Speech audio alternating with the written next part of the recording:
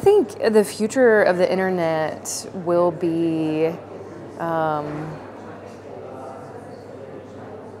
will be one where hopefully the internet uh, and all that it has to offer um, is available to every every citizen um, being born today and, and every citizen uh, who maybe doesn't have access today. I'm hoping it is ultimately a tool um, that provides some equity that we haven't seen um, with a lot of other technologies. So let's hope that that's we can aspire to that.